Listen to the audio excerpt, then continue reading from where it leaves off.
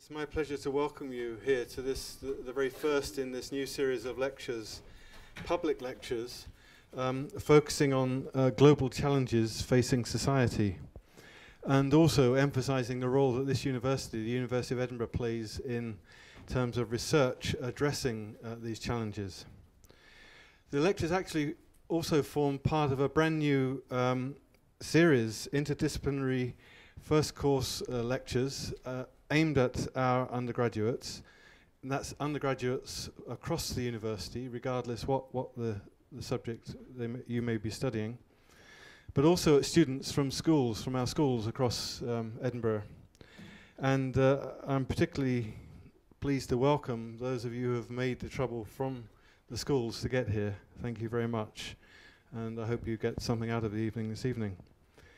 It's great to see such a, a good turnout uh, for this first lecture.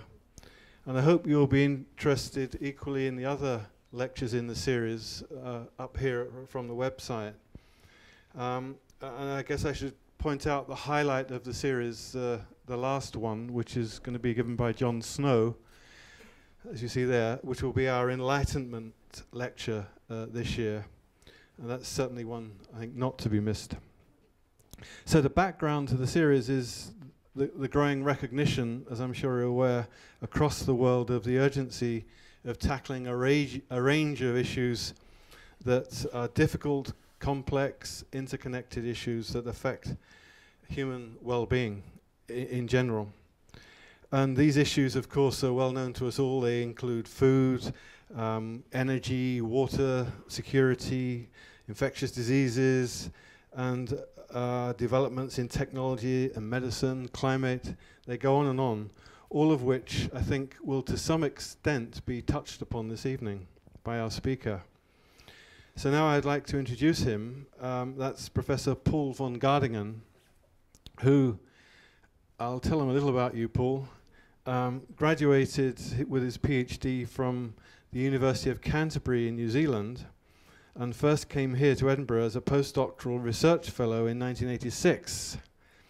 He then returned to New Zealand to work at there at the Ministry of Agriculture and Fisheries before uh, coming back to Edinburgh to take up a lectureship in 1991. And since then, he's established himself as an eminent expert in international development with a wide range of experience in developing countries around the world. And he's a member of the Scottish Government's International Development Advisory Group and also is a senior advisor to the UK Government Department for International Development uh, in London, in Whitehall. He currently holds the UNESCO Chair of International Development at the university and was recently appointed as Director of the Ecosystem Services for Poverty Alleviation Programme, which is a major new research initiative supported by UK government and, and hosted here at the University of Edinburgh. And this initiative will support collaborative research with developing countries in Africa and South Asia the Amazon region and China and provide the world leading research which is required to help international development. So Paul, please give us your lecture on global challenges, the perfect storm. Thank you.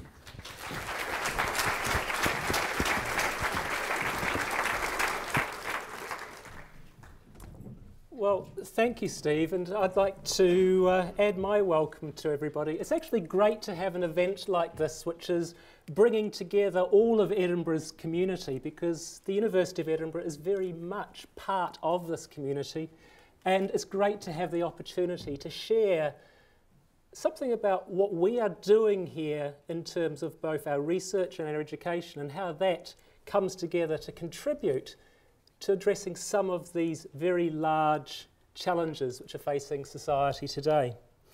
And I want to pick up on a couple of things which uh, Steve said in his introduction. It is about what are these global challenges and what can we do about it? Each one of us has something that we can do. And today it's about raising a little bit of awareness about what some of these challenges are, what's been done, and more importantly, what needs to be done.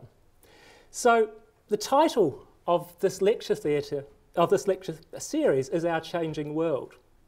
But I want to start off today by considering what are our global challenges and come back to this, this title of The Perfect Storm, which we started to hear about last year, and I'll explain a little bit about it. Um, the perfect storm was introduced by the government's chief scientific advisor, um, Professor Sir John Beddington. The chief scientists exist within the UK government to give the cutting edge scientific advice which will inform policy and action over um, the coming years. And last year, John Beddington said, actually, we've got to start thinking on a longer time horizon, um, thinking about what is going to happen to the world as a series of challenges um, influence our behaviour. And he coined this phrase, the perfect storm, and mentioned that there are a whole range of major global challenges which are coming together. Some of the ones which were mentioned were things such as the rapid rate of urbanisation. Um, we're now in a world which is radically different from the past, where over half of the population lives in cities. Poverty.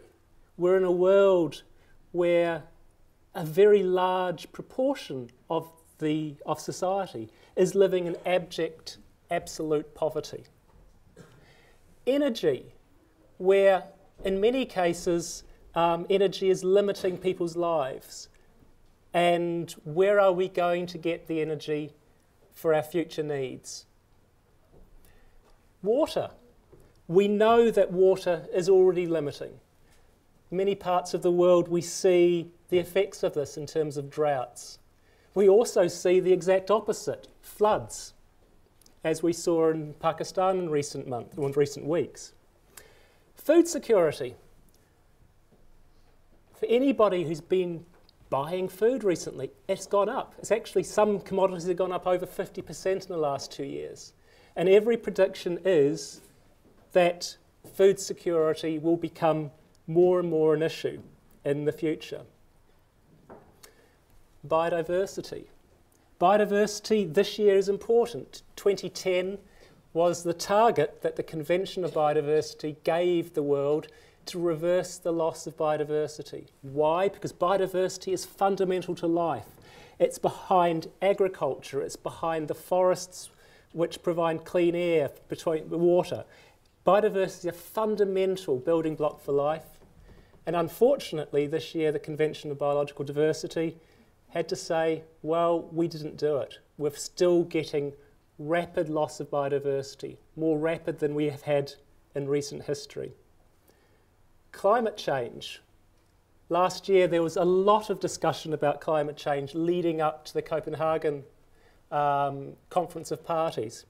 And again, whilst there was a lot of discussion about um, the impacts of climate change and some discussion about what we need to do about it, we didn't really come out um, with a strong pathway forward. And then finally, going around the edge, we have infectious diseases.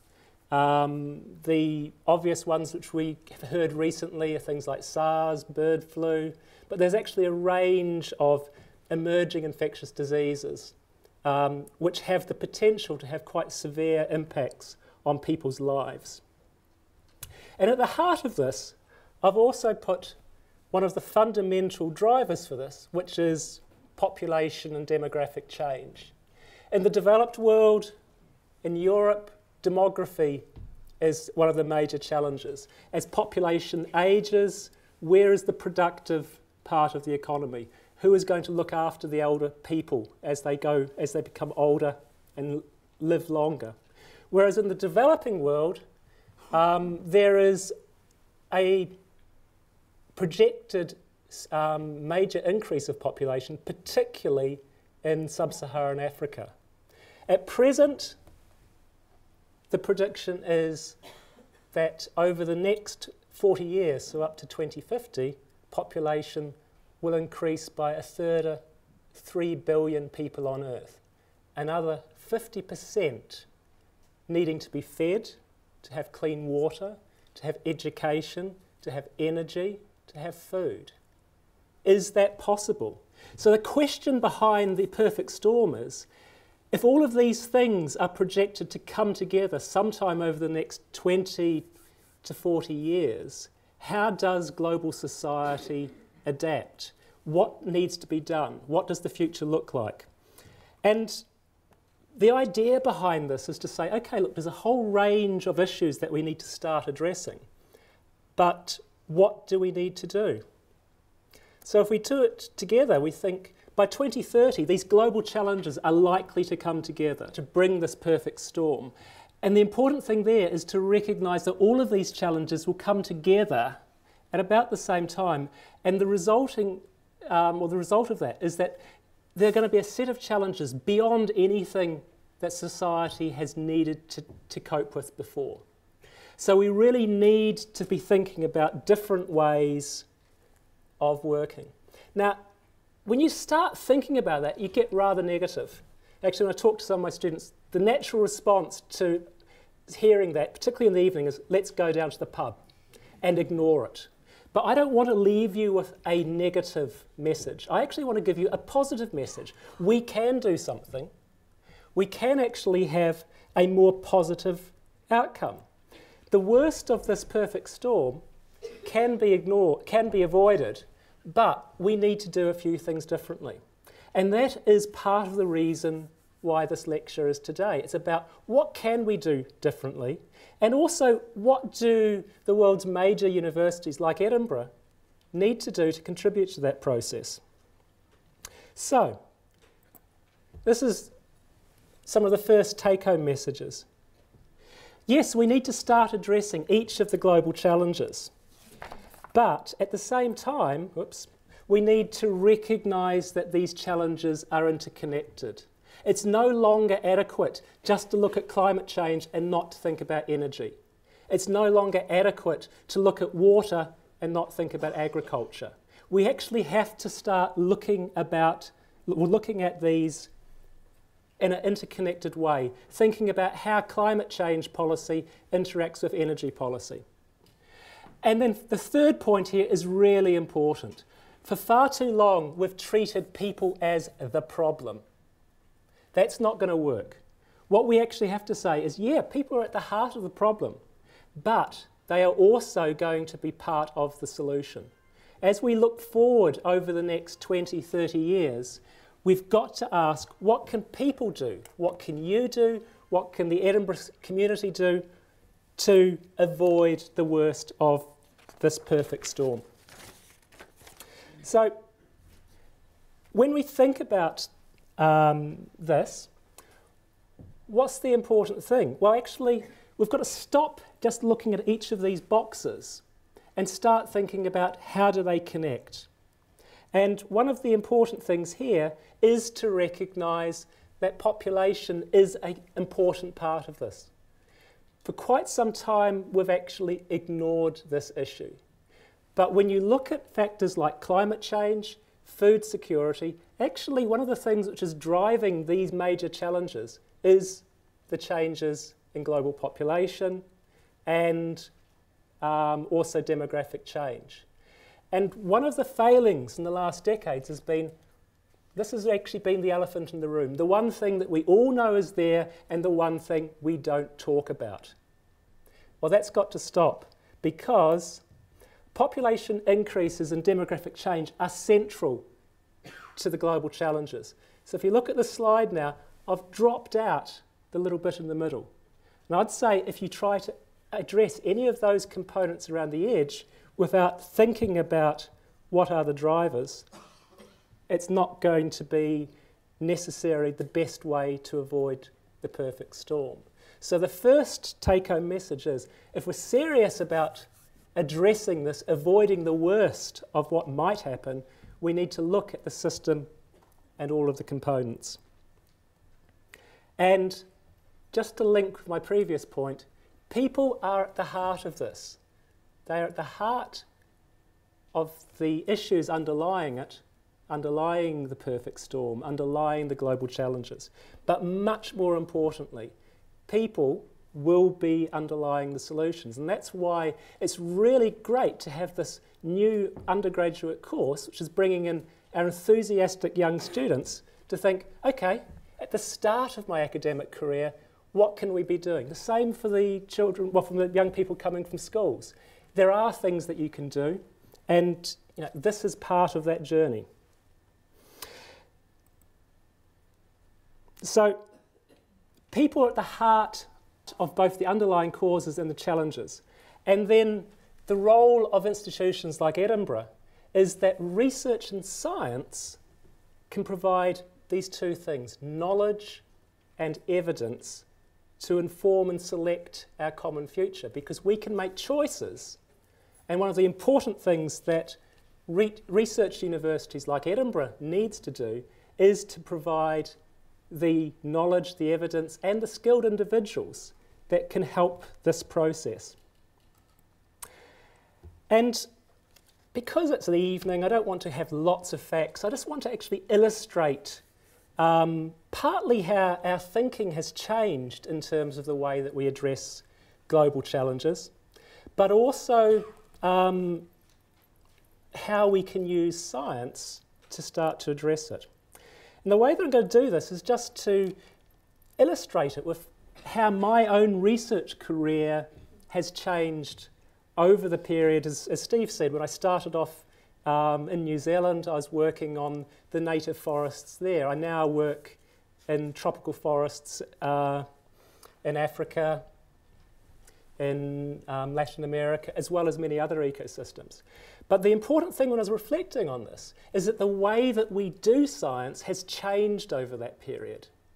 And it's quite interesting to see this because that also is a um, way of informing our future action. And when I was preparing this lecture, I suddenly realised actually there's really been three phases in terms of the types of research, the types of activity that I've done. The first phase I've called the technical phase. And that was sort of up to the year 2000. And the idea there was let's find the technical solution because we can fix everything with science, we just have to find the technology. And this was a probably a common approach for a lot of the ways that we were trying, or the global research community was trying to deal with those challenges over that time. Would pick a single problem and throw technology at it. So this was actually my, my PhD there in New Zealand. I was tasked with trying to understand um, what factors controlled the regeneration, the regrowth of native forests in the country. So in terms of the work that I did there, I went into the, into the forest. I measured lots of things. I clamped nice bits of expensive equipment onto the leaf and measured how much um, oxygen was being given off, how much carbon dioxide was going in. And the idea was to collect all of this technological information. And as soon as we knew that, as soon as I understood how the plant interacted with the environment, I would understand what was going on in the forest. And to some degree, we did. Then I came to Scotland for the first time, and by this time I was actually really interested in, in many environmental issues. So I ended up here looking at wind damage and other damages to grasses. I went really, really into the fine detail. For those of you who don't know, these are stomata from the leaf of a plant. You could just get a human hair going through that little pore on the leaf surface. And the idea of, behind this work is trying to understand what was happening in terms of controlling these openings in the leaves. And the idea was if we had understood that, again, we would understand more about how plants interact with their environment and also start to um, understand how better to manage our natural environment. And again, it was interesting, it was a lot of fun. Um, but by this time, I was beginning to get a little bit frustrated, thinking, okay, if I'm really looking down and just seeing these wee holes in a leaf surface, what's the relevance of that to some of the bigger environmental issues, which at the same time were, were starting to be discussed by society? So in 92, um, we had the Earth Summit in Rio, the UN Conference on Environment and Development, which gave us Agenda 21. It also gave us a lot of the large UN agencies dealing with environmental issues, such as the Convention of Biodiversity, the Climate Change Convention or the Framework Convention on Climate Change, targets to protect land. But what was really important here was in terms of the way that society was thinking. We moved from a little bit about the technological fix to start thinking okay, what are some of these major environmental challenges? Things at that time which were important included ozone depletion, loss of, of the forests, loss of biodiversity. But what came out of that was, a, again, a strong agenda which is we need to fix the environment. We need to stop biodiversity loss. We need to stop deforestation. Agenda 21 gave us um, targets which were very much about fixing the environment. And what was interesting is that that affected our research. So the next set of research that I started on was looking at how these environmental challenges were working out in the environment. The next example is probably the, my most fun day in research. This is a small site in Italy. And we went there to understand how rising CO2 emissions impacted on plants. Now, you're not even going to guess what this is. And yeah, Mickey Mouse did come. It was the only balloons we could get. Every night, this is a hollow and it fills up with carbon dioxide because there's a mineral springs and the CO2 bubbles up. And that's why these plants have been living in this environment for centuries at high CO2 concentrations. And we went there to see what does long-term CO2 um, exposure do to plants. Because everywhere else, um, we just don't have that information. We want to know what are the long-term effects of environmental change. And this is one of the few places in the world that you can do it. The balloons, well, actually what happens is in the morning, this, you can actually go there. It's shimmering. And it's almost pure CO2, a little lake there. And we tried and we tried to take photos, and we couldn't. So what we did is we actually filled these balloons up just with our breath, and you can float it on top of this little sea of CO2. Um, that's one photo. There's also a lovely photo of a friend of mine going into this area wearing full diving gear because uh, there's no, no oxygen down there, so you don't survive very long. But what came out of that was an understanding of how the environment or environmental change interacts um, with the vegetation, with the plants. Um, very interesting story there. The, the local farmers realised that plants grew much quicker. And they thought, oh, this is a bit magical. Now, their understanding of biology wasn't really that good because plants grow quicker in high CO2. Unfortunately, when they put chickens at the bottom of this, they didn't. this is why you need to know a little bit of basic biology. Okay, at the same, well, about the same time, um, we had an exchange between Edinburgh University and um, King Abdulaziz University in Saudi Arabia. And what they were interested in was getting some collaboration going, looking at how some of the major environmental challenges were feeding into their agricultural systems. Now, what I didn't realize at the time, at that particular time, Saudi Arabia was in the top 10 wheat producing nations of the world. You go, whoa. And that's on the left. That is a center pivot irrigation system which was producing wheat in Saudi Arabia, something you don't really think about. On the right is a more traditional system which is around um, a small water source, and these are the, the date palms. It's very green because this was a week after the annual rain. Two weeks later, it was dry.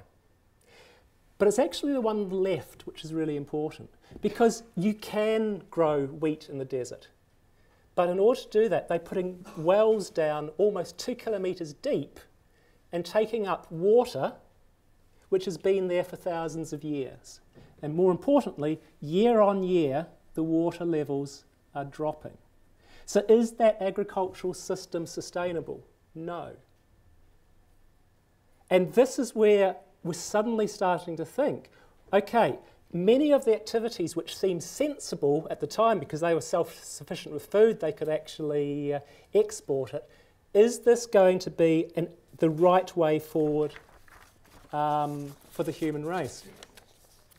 And in terms of contrasting that, what happens if we get it wrong? What happens if we don't have enough water or if agriculture goes wrong?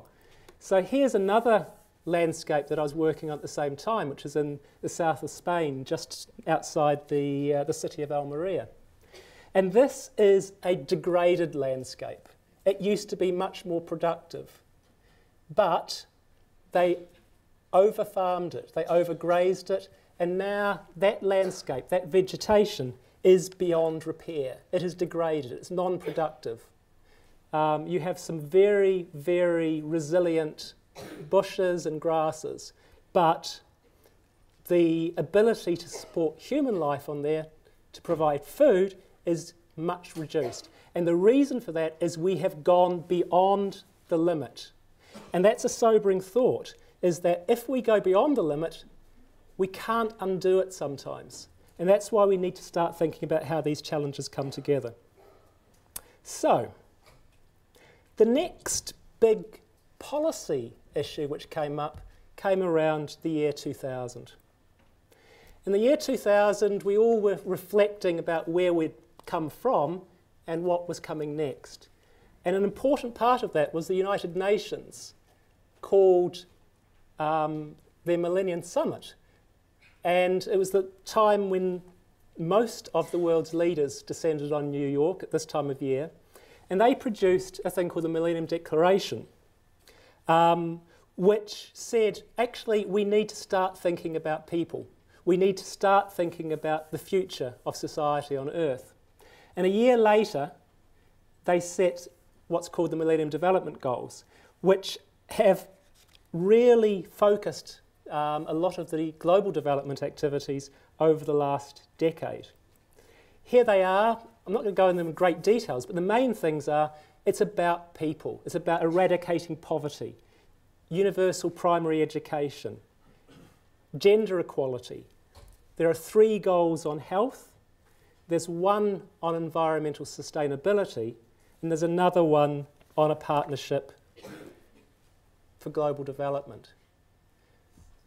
But there's one important common theme going through all of this. And that has been when we're talking about these global challenges and the future of development from 2000, this phrase, people matter. And if you think about what I was talking about previously about our research, up to about um, the first phase, up to about 92 when the Rio Summit came, it was all about technology. Then we started thinking about the way that these challenges interact. From 2000 onwards, we've been thinking much more about the role of people in the system and um, how that works. So let's illustrate this with a couple more recent bits of work. Is I've spent, we had a large program looking at, at forest management in Indonesia. It actually spanned this, this 2000 um, change. We went in there trying to understand the forest, but by the time we, we left, we actually realized that the important thing was to understand the role of people in the forest, understanding the role of communities, policy, and governance, the way that we all interact. Um, the pictures here are actually the first time that I was exposed to this in my research career. It's when I sort of turned from being a natural scientist to being a social scientist. We were going up in, this, in the heart of, of Borneo in Indonesia to a, a village which was one of the local indigenous tribes. And what was different then was that we went into this community and asked people, what actually matters to you?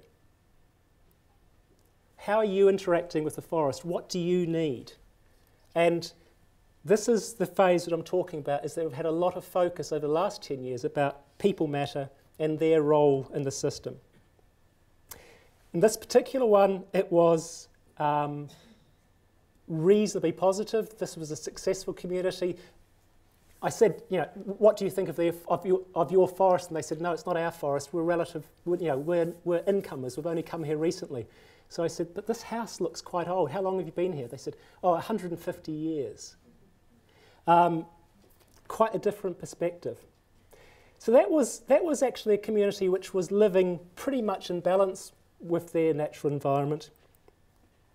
Whereas in Kenya, um, I've had two PhD students looking at drivers of change in pastoralism. So this is the Maasai, both in um, um, Kenya and Tanzania. And their, their lifestyles are having to change quite radically, partly because of population pressure, people moving to cities, other uses coming up for land. But what is absolutely certain is in that particular part of East Africa, the future will look radically different for them. And that's not just because of the droughts, it's also because of um, changing land use, farming coming in, the game parks, etc. And my, my PhD student has just finished. He is actually a village leader, and he's saying that the future for his people will be radically different. Um, there's no going back. So, as terms of his life, these global challenges are now. The challenges of food, the challenges of water, um, and poverty. So, coming back to the perfect storm, that's 2009, last year when, when this came out. And it was a point which saying, okay, look, we've got to stop just looking at each component and start to look at them um, together. So looking from now and looking forward, there's a couple points. Number one is population matters. We can't ignore this issue any longer. Okay? Current models say by 2050, I would say there is going to be at least 9 billion on Earth. There could be more, it could be less. But at present, I would say it's going to be 9 billion or more on current trends. Also, we've got to bring those two phases together. People matter, but so does the environment. We can't look at these things in isolation. And through that, we're starting to look at new ways of, of working in research about integrating people and the environment, people and ecology. And then the next point is that we can address these, these challenges if we work together, if we break down the boundaries which, which separate biologists from social scientists, from medics. We need to work together. We need to work across political boundaries, and we need to work in new ways. I just want to take each of these very briefly before I stop. Population matters. And as I said, we've got to stop ignoring this and say, well, what can be done? It doesn't require draconian measures. The first thing which I would say is that we can actually do quite a bit by giving people the rights which are already there in terms of international agreements. The first one is um, giving women the right to control their own fertility and to make choices about that. In order to do that, its access to education is important and also modern methods of contraception. When we look at the countries on earth which have the highest population growth rates, they are also, well, they tend also to be the countries which have got the highest proportion of women who say they want to control their, their fertility but don't have the ability to do it for whatever reason, whether it be access to contraception or um, not, being a, not being allowed to make their own choices. We also need better ways of predicting the future. Um, our current predictions are based on an assumption that by the end of the century, all countries on Earth will be at replacement level. I ask the question what if our predictions are wrong? And because of that, we need to think about population in all parts of what we're doing. So, in terms of moving forward, we've got to stop just looking at single issues and look much more at integrating what's going on. So, John Beddington last year gave us this perfect storm. That goes part of the way, but it still leaves us looking at single issues. So, what we've been doing, or my group's been doing, is looking at well, can we re engineer the way that we look at this so it becomes more integrated? We need to develop a more integrated analysis which put people at the heart of development. And that's what this image here is designed to do, is to say when we are talking about the way of addressing these global challenges, the way of avoiding the perfect storm, we need to recognise that things are connected. That you can't be talking about addressing climate change, climate security, without also be thinking about population, demography, the scarcity of resources like water, like food, trade, economics. All of these features interact. So if we're serious about addressing um, climate change, if we're serious about addressing environmental degradation, we need to be looking in a more holistic way.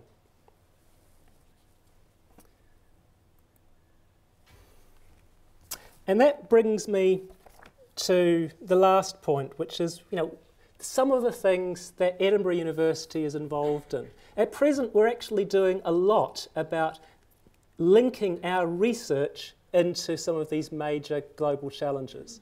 At the moment, the university is involved in setting up a major new initiative, which is the Edinburgh Climate Change Centre, about making our knowledge available to influence policy and practice to help educate the next generation of policymakers, opinion formers, experts who will do that. As Steve mentioned, also in the last few weeks, we've taken on the role of leading, or at least providing academic leadership, for a new UK initiative looking at how ecosystems, the natural systems around us, can be used for good to reduce poverty. And what we're trying to do, this, do here is to adopt new ways of working, to build up partnerships that ensures that the world's poorest people actually benefit from the ecosystems around them. Looking at working in new ways, these integrative approaches, linking disciplines and also linking regions. Um, and this project or the program is really quite exciting in that it's the, one of the first UK research programs which is truly global. It's working in Africa, South Asia, China, and in um, South America. It's asking, in all of these regions, what can science do to improve people's lives by looking at the way that they interact um, with their ecosystems? And just to give you an idea of how global this is, this is a, an image which I captured last night. It's already out of date. The pro, well, our part of the program is really just starting, and at the moment, we're getting people around the world to register their interest um, in working on this major global challenge of how do you link ecosystems and the reduction of poverty. We've got about 200 researchers at the moment, and uh, probably will have double that by next week. What's important about that is it actually illustrates much of what I've been talking about today. It's about looking at the role of people in the world, about addressing these global challenges, about building up international partnerships to address them, and also adopting um, new ways of working. So, just to finish and to leave time for some questions, what can we do? How can we avoid my starting point? which is the perfect storm. How can we avoid the perfect storm? Or more realistically, how can we avoid the worst of the perfect storm? The first point is we need to act now. We need to generate the science. We need to engage in the difficult discussions. We need to be linking with policymakers. Because if we don't, I would say that the default action is we will actually drift towards the worst of that perfect storm. The food scarcities, the conflict over water. But we can avoid it, and I'd suggest we must. The second point is population matters. And it needs to be talked about. We need to th think about it. We need to think about the impacts on the environment, on resources, and to recognise that we can do something about it. But it doesn't need to be draconian. As I said, education and giving people choice will go most of the way that we, that we might need to go. Third point research and science needs to adopt new ways of working. That is going outside our traditional disciplines. Not, so I started off as a plant scientist um, in a very narrow field.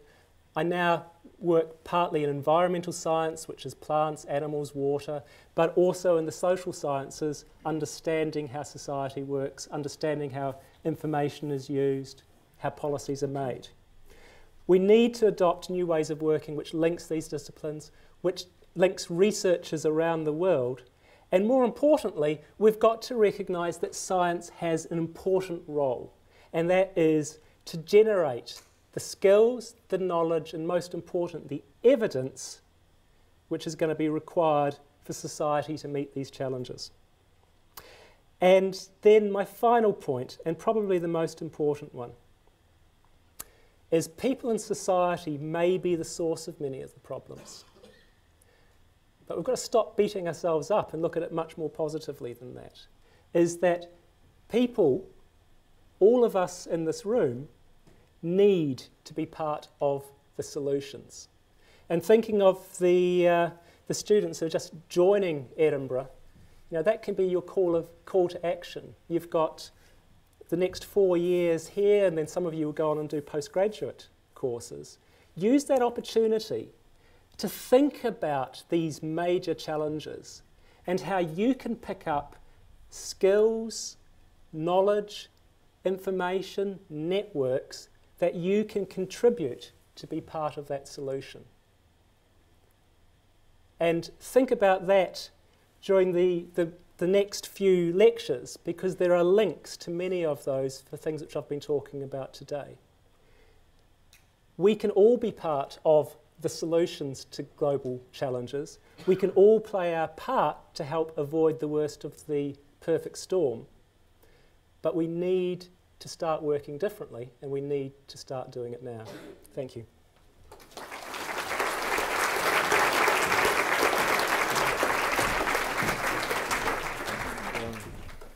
Well, thank you very much, uh, Paul. Is there a microphone? Uh, there's just want to say thank you very much indeed for that wonderful start to the series. Um, Paul's very kindly agreed to take questions. Um, I don't know if anyone would like to start off. Someone right up in the corner there, we'll please. Need to get, we'll need to get the mics up Yeah, I tell you well. what. Um, we need we need that. Wait. Yep. Right in the corner.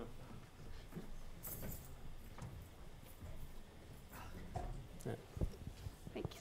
Um, you talked a lot about the importance to look at uh, demography, um, which I agree is definitely an issue. But what also, like, what would you think about the consumption patterns that we have in the more economically developed co countries? So, for instance, one Brit is responsible for 20 times as much CO2 as one Bangladeshi. And we're not saying that we should all have the life of a Bangladeshi, but are we consuming too much? And moreover, isn't it our economic and political priorities and values that are responsible for many of the factors that you were talking about in the perfect storm? Um, yeah, it is. But um, the, the phrase that we tend to use here is equity. And it's, it's not just about pulling one group up or pushing one group down. It's about everybody needs to recognise that the future is going to be radically different and we all need to change.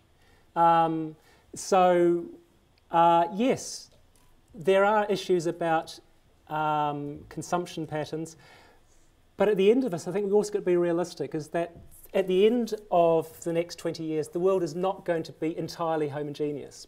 So the, the issues are going to be compromises.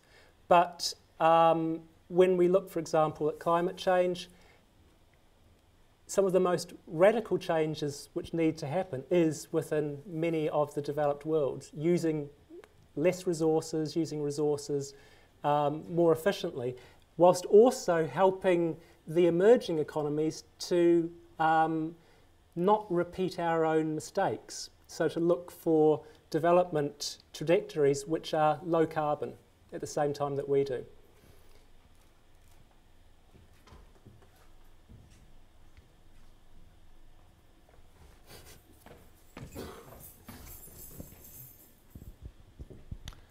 There's a paradox between um, the need to uh, sustain biodiversity and the need to uh, improve agricultural production. Could you comment upon this uh, paradox? Um, it, go, it, goes beyond that. And um, it's interesting that you use the word sustain as opposed to conserve. Uh, because this has been one of the one of the big challenges is that it's absolutely important, for example, to sustain the level of biodiversity because that is going to be um, fundamental in terms of, of future survival of the Earth and of, this, of the species on Earth. Um, we need that biodiversity there. However, um, we can't conserve the past. The future will look different. The ecosystems will look different. That's unavoidable. So it's getting this balance between maintaining um, a level of biodiversity whilst accepting that the future will be radically different from the past. Basically, there are too many people on Earth. There has been too much change already for the future to look identical to the recent past. And that's not really what people want to hear, but it is the reality. We can't conserve the past because we're already rapidly moving into the future. But we need biodiversity or else we won't have much of a future.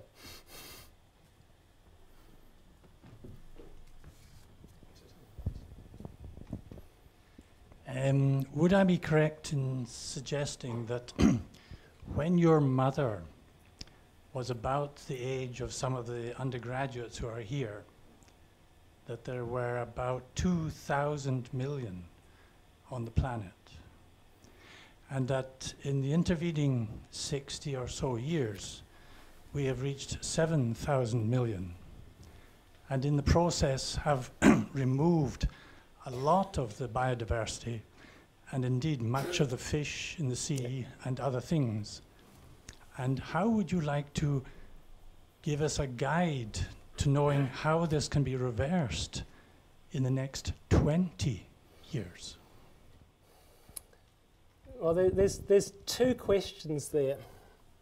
Because um, the question that I'd ask is, is reversing what? In terms of reversing the, the, the trend for loss of biodiversity, um, we can do quite a bit by changing um, by changing behaviour, by, for example, stopping some of the damaging um, activities. So where we know that the fishery resource is being overexploited and that's damaging biodiversity, where we know overexploitation of the forests is damaging it, we need to stop that. We need to find alternatives.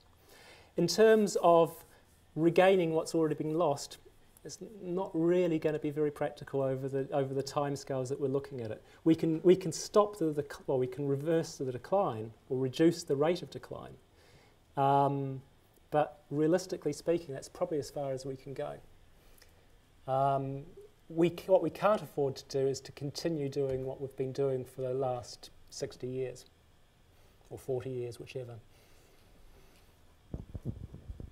Hi, thank you. Uh, your, your analysis seems eminently sensible, um, and it's based on, on the, the fact that um, there is both repression of, um, of, of, of people and their actions and exploitation of the system. So wouldn't, surely your advice ought to be uh, to the young students involved, the young scientists involved, rather than go and learn the science, be go out, organise and agitate. um, there's, there's, a, there's, a, no, there's a role for everything. Um, and you know, again, in terms of a lot of the work that we do, you need to have a, a good relationship between generating the evidence because you can only have um, useful debate if there is evidence, but you also need to be linking in with the civil society groups, which sometimes is, are agitating, sometimes it is actually just about informing. What we have to stop doing is saying that science is at top of this ivory tower and is better than everybody. It's not. Science is part of the society around it, and I strongly believe that science is there to serve, to serve society, not to dictate to it. So, working together.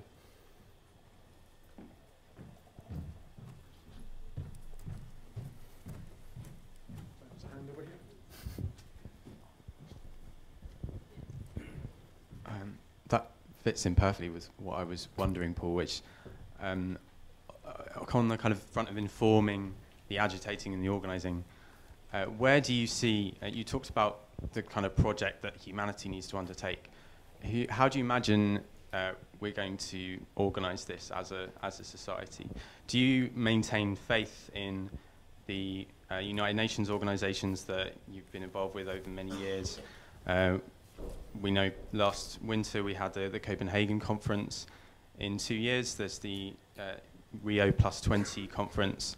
On the flip side of that, there's people organising things at the university and in, in mm-hmm. town, things like the Transition Edinburgh University Initiative where do you put your your faith in, Paul? Is it how, are, who's going to solve this problem and, and, which functions? Is it is it going to be internationalization, international solutions, or is it going to be local stuff? Is, there are many there are many parts to that question. Let, us address the UN. The UN is um, not the organisation that would be designed today if, it, if we were starting from scratch. However, it does still have very useful functions. And I believe that, from my own perspective, I think that it's better to work with what we've got rather than to dream about something that we might have had. The UN and various other multilateral organisations have got a lot, uh, have got an important role to play.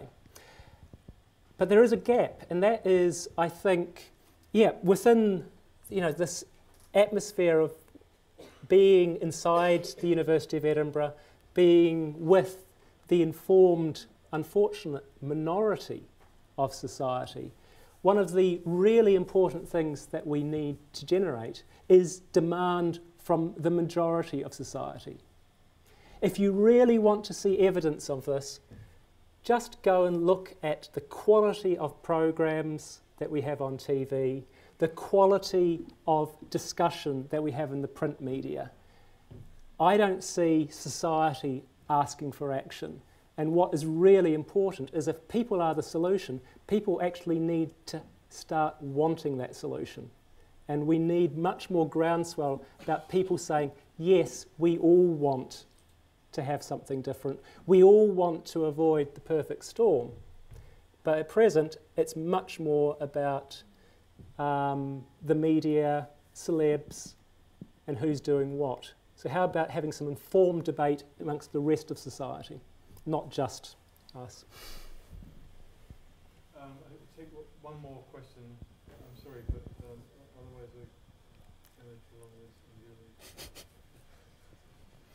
could go on forever. It could.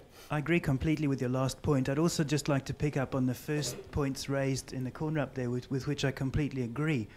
I would argue that um, one of the, well, I cringe whenever I hear politicians talking about the need for more growth.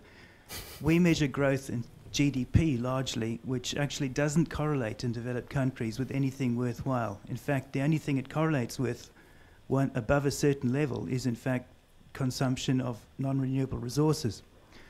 Um, so I think we need to call for a new measure of economic performance. Uh, President Sarkozy asked uh, Joseph Stiglitz and uh, Amartya Sen, and a, and a French economist, to come up with such a, a, proposal, and I believe they're looking at implementing that.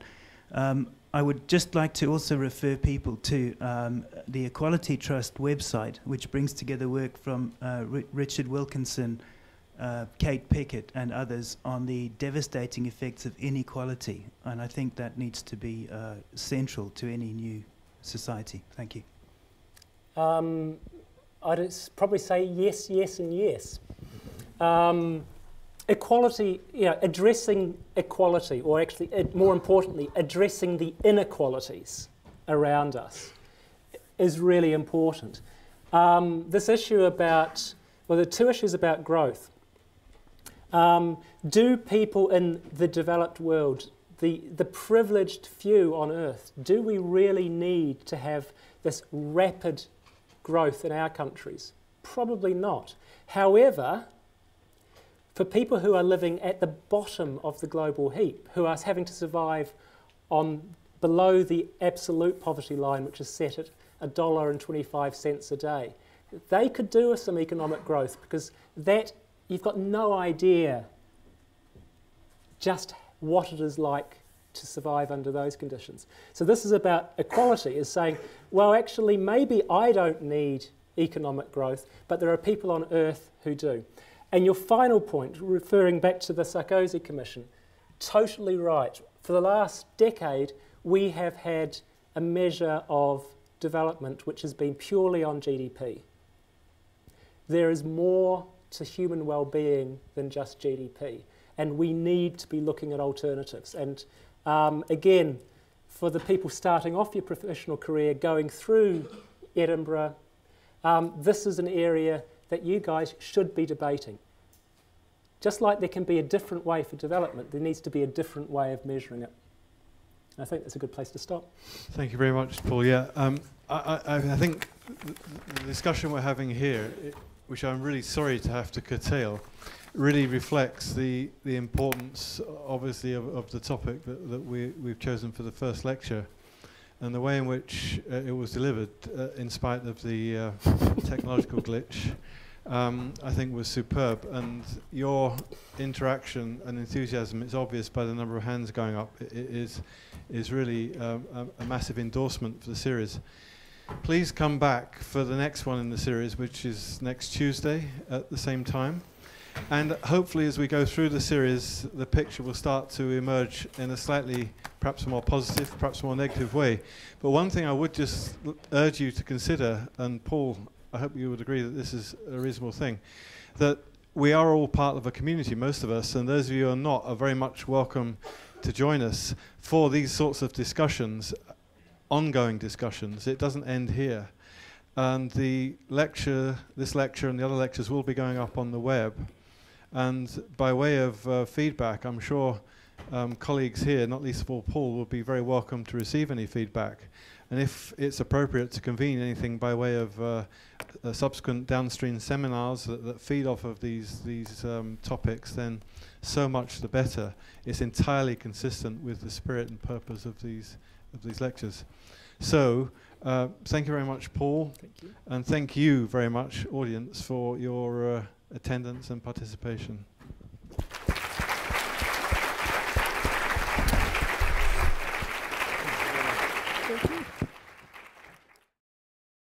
This production is copyright The University of Edinburgh